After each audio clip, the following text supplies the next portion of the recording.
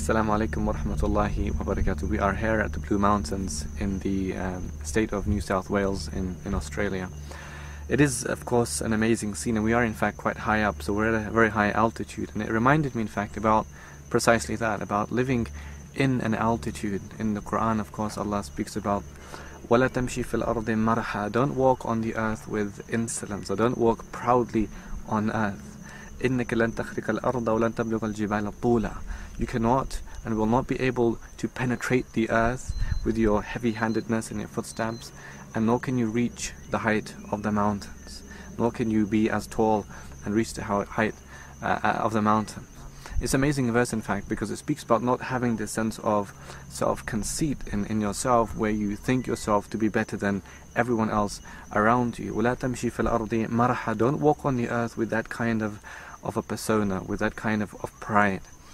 It's interesting, in fact, there is a connection or relationship between altitude and someone's attitude. If we look at the um, horrendous cases of, of, of, bombing campaigns in Dresden uh, or in Hiroshima, Nagasaki, um, uh, Tokyo or Hamburg, or more recently the bombing campaigns in Iraq and Afghanistan, we often find that there, there are tens of thousands of people who are killed when someone is high up flying his uh, F-16 fighter jet it presses a button and the bomb drops and incinerates, kills, maims, destroys, destroys human life, agriculture, wildlife, wells, mosques, schools, homes. Um, but all the individual has to do is in that altitude, he just has to press a button and the bomb will drop and it will completely destroy. If we speak about numbers, uh, whether they're 60,000 or 70,000 in, in uh, Tokyo or 70,000, 80,000 in, in Hiroshima, or the thousands killed in Dresden, and, and these are within the space of six or seven hours as night raids, and they would create firestorms, and, and, and people would die in, in huge numbers. But there is, of course, a problem because people tend to be more concerned about the method of dying or the way that people die rather than the numbers of people killed. Uh, and what makes a qualitative difference uh, is, of course, the uh, way that people die rather than the numbers of people killed. So when people are at a very high altitude, they, they lose that, they, they lose that connection. And this is why you will find many of those from the IVO, Iraqi Veterans Against the War, um, speak about that, that because they're at such a high altitude, uh, they have no real uh, feelings for the human beings, the Muslims essentially, that they're killing, and then they end up leaving the war uh, and then um, becoming anti-war campaigners. There is a, another connection between altitude, and that is the way that altitude might become uh, some kind of impediment uh, to empathy. We consider the example of our Prophet although he was the best of Allah's creation. He was the best, most perfect of Allah's creation, subhanahu wa ta'ala.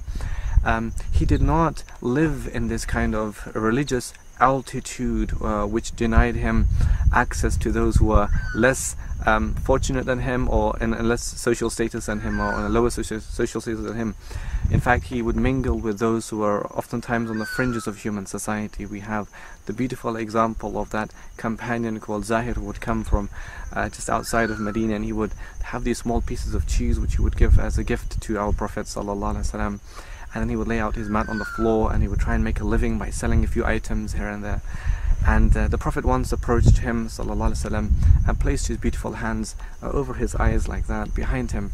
And Zahir didn't know who it was until he smelt the beautiful scent of the, from the hands of the Prophet وسلم, and then he realized. But the Prophet spoke first and the Prophet said, Man yashtari hadha al-abd Who will buy this servant? Who will buy this slave? And upon hearing that, Zahir said, Ya Rasulullah, إِذَنْ تَجِدُنِي كَاسِدًا And you will find me to be a cheap merchandise with Allah. Ya Rasulullah, you will find me to be cheap. Um, and uh, and then the Prophet said, وَلَكِنْ أَنْدَ اللَّهِ لَسْتَ بِكَاسِدٍ But you will not cheap merchandise with Allah subhanahu wa ta'ala. You will not cheap merchandise with Allah. People might find me to be cheap, uh, not making people much profit or money, but the Prophet reminded him, you are not cheap merchandise with Allah subhanahu wa ta'ala. And so you can see a beautiful example. Uh, وَلَا تَمْشِي فِي الْأَرْضِ مَرْحًا Do not walk with pride on the earth. إِنَّكَ لَن تَخْرِقَ الْأَرْضِ You cannot penetrate the earth. and nor can you be as tall as the mountain. So do not live in that kind of altitude. Likewise, you might experience a kind of religious altitude that we might become affected by, where we might think ourselves to be the most pious out of everyone else around them, and then we deny other people their rights, or we live in this kind of self conceit. We have the beautiful example of Ibn al-Mubarak rahmatullah alayhi when he once went to uh, he heard about that Zahid who was a worshipper of Allah and he and he traveled quite a distance to, to, to catch up with him and see him and the man was in his home. And um, um, Ibn al-Mubarak he knocked on the door. The man was worshipping Allah subhanahu wa ta'ala. Others from the house they came and greeted him and they gave him uh, food and drink and they entertained him. But that man was still worshipping he really had no regard for his guest, for the visitor who had just arrived in his house and was just worshipping. And Ibn al-Mubarak, uh, after some time, of course, he got fed up and he simply left. And then the household members, they went to this man and they said, look, we understand that you're worshipping, but here was an individual who was the greatest scholar of our time who came to visit you, but you gave him no time, no consideration. And to that, um, the man gets up and he runs behind Ibn al-Mubarak and he catches up with him and he said I'm so sorry I didn't know it was you he said Awsini advised me and to that Ibn al-Mubarak he said look the true essence the true meaning of humility is that, that you don't leave your house and لا تخرج من منزلك وتلقى رجلا مسلما إلا رأيت له عليك فضلا you do not leave your house and then you encounter a Muslim except that you consider perhaps this man has a virtue over me not to live in a kind of religious height or religious altitude where you think yourself to be perfect and the best and no one else is better than you. And so we have a lot to learn about living in heights, not to allow our conscience, our, our self-being to be like that, but we should be of those who are humble. تلك الدار الآخرة نجعلها للذين لا يريدون علوا في الأرض ولا فسادا والعاقبة للمتقين. That is the home of the hereafter that we give to those who do not desire high-handedness on the earth, nor corruption, and the best end is for the people of taqwa. Just as a last point, we are of course hearing of the terrible injustices against our Muslim brothers and sisters in, in Syria. And, and, uh, and previously I spoke about altitude, about how people would fly their, would fly their planes and press the buttons and bombs would drop.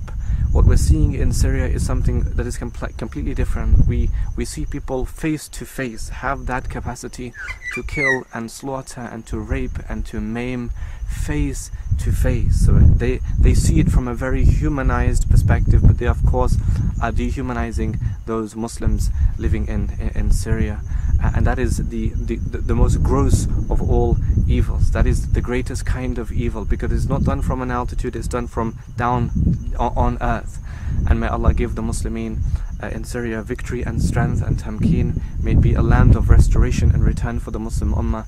And may Allah give a destruction to Bashar al-Assad and his government and those who support him. So there is a problem in living in an altitude, whether that altitude is connected to warfare and killing, or it has to do with um, resentment and scorning other human beings, other Muslims, under other individuals, uh, or it has to do with living in a kind of religious, uh, self-induced altitude. May Allah save us from becoming like that, but may Allah make us of those, as Allah describes in the Quran, um, do not desire heavy-handedness on the earth, nor corruption, and the best end is for the people of taqwa. Assalamu alaikum wa rahmatullahi wa barakatuh.